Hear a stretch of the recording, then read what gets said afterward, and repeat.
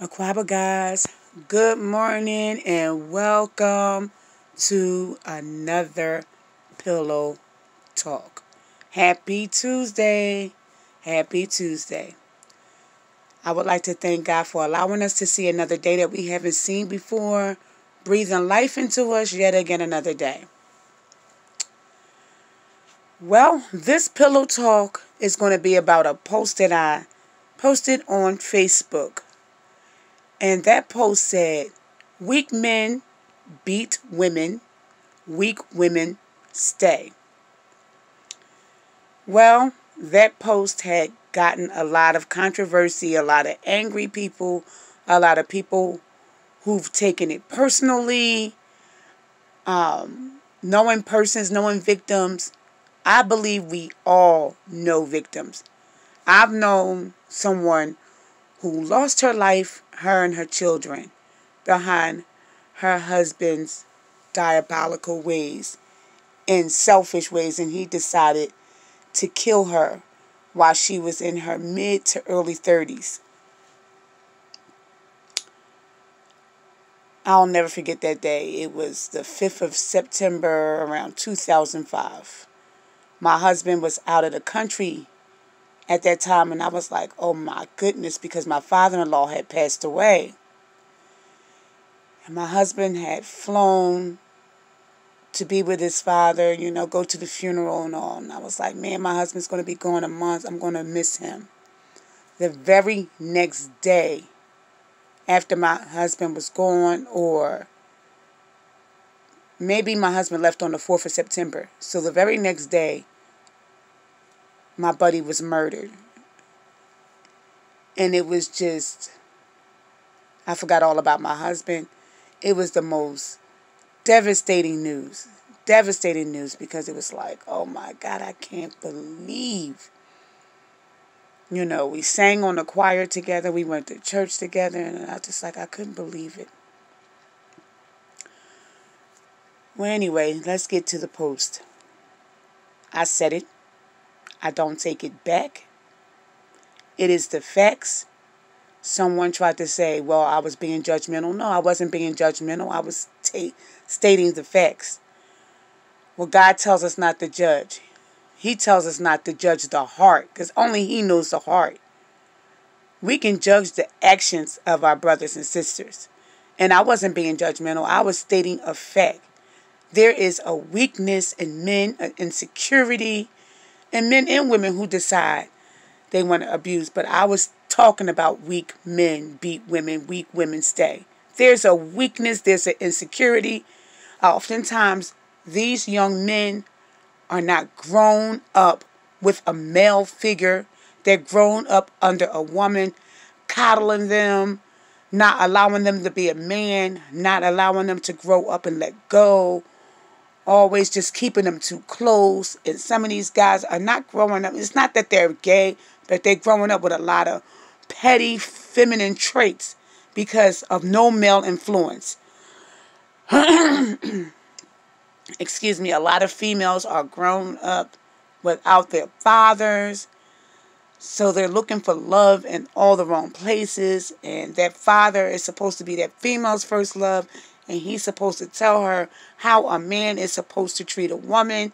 And when she doesn't have that, and she's looking for love in all the wrong places, and if she doesn't like what she see in the mirror, your little lines, after a while, is going to get to her. Even if she didn't like you initially, but because you're showing her attention, she makes herself like you. And then next thing you know, you guys are in a relationship trying to make one another happy. I've seen it close hand where the man is so controlling. If a guy needs to see your text and if a female needs to see what's in your phone, then they're not trusting you. They don't have no faith in you. They don't believe that you're the person for them. They believe that you're capable of doing other things. Then why are you with them? If a guy can put his hands on you, he is not showing you love. He's only showing you that he is out of control. And if you keep forgiving him, it's not going to get better. It's going to get worse. He needs help. You need help to figure out why do you think that's acceptable? Why do you think that you have to put up with that? You guys both need counseling and you need to part ways. Look if there's any kids involved, look at how it traumatizes children. If you have little girls, she's going to grow up and think that she's supposed to take abuse. Now, my buddy that was murdered, I don't know how true it is, but from what I was told, her father used to beat on her mother. And so she found a man similar to her father. Because she thought that's what a man's supposed to do. I, I love my daddy. I love my daddy. My daddy's a good man. But my daddy hit my mom. Maybe my mom deserved to be beat. Maybe that's a, that's the way it's supposed to go. So who am I not to take abuse from my man? I seen my dad do it. For the men, you'll grow up and beat women because you've seen your mother getting beat. Do you all see how this is just damaging? Do you see? If you don't love yourself, how can you convince somebody else to love you? You have to first get healed. You have to get counseling for yourself. You have to ask God, hey, I need you. I need you to come in my life because I'm screwing up on my own. I know you're a God that gives us choices, but right about now, and I don't see no choice. I need you really right now to come into my life because I'm making a mess out of my life. I'm having kids, I'm not married, you know, and not judging women who have kids out of wedlock. I've had kids out of wedlock, and I understand how it is. Well, I had one child out of wedlock, and I seen how difficult it was, and I said, Lord, I ain't doing this no more. You have to give me a husband. This is too much. But not to get off the topic, but you know, you ought to start making examining your life and seeing where you're going wrong. You having these kids with these angry, abusive men. They're growing up scared and afraid and insecure. Do you know what that does to a child when they see their mother or being hit or their father hitting them? You're putting insecurity in that child. So now your child is growing up not really caring about themselves, being insecure, and may repeat the pattern. Somebody tried to argue the fact and say, well, that's just my opinion. What's strong about a person who abuses a person? Where's the strength at? A man who has strength, he has self control. If she does or says something that he doesn't like, he has enough strength, or if he loves her, he enough, let me just walk away and cool off.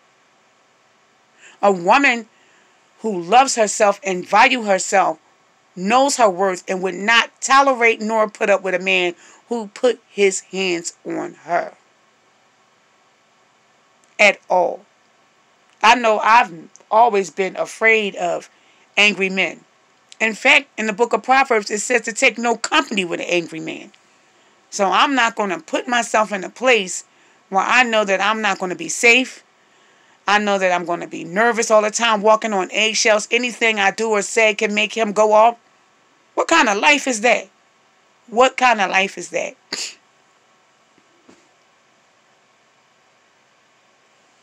You might be in a situation now where you're afraid you might be in a situation where you're being abused and you're afraid and you you don't feel you don't have the strength to fight back.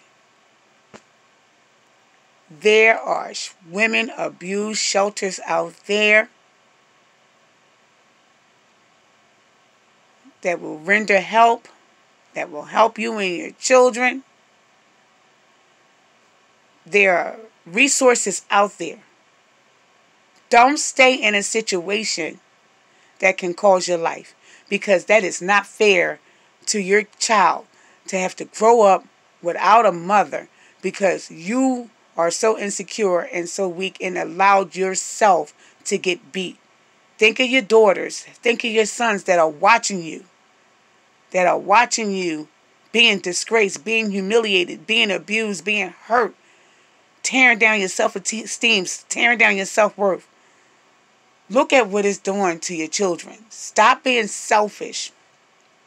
Some of y'all stay and put up with it. Oh, it's not that bad because of how somebody is servicing you in the bed. Like sex is just that great that you cannot find somebody that you're sexually compa- com- um, competitive, um, comparative to. I'm sorry, I, I got that wrong word. Competitive, com- whatever. Y'all know what I'm trying to say. That you cannot find somebody that will marry you, that will love you unconditionally, that can arouse your intellect spiritually, mentally, sexually. And what is love? What is love?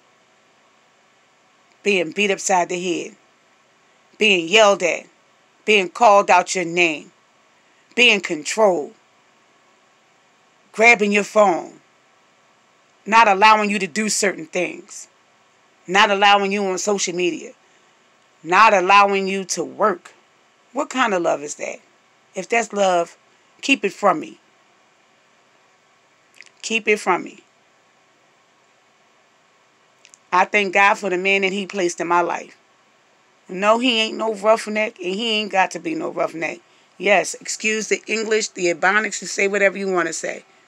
But I'm blessed.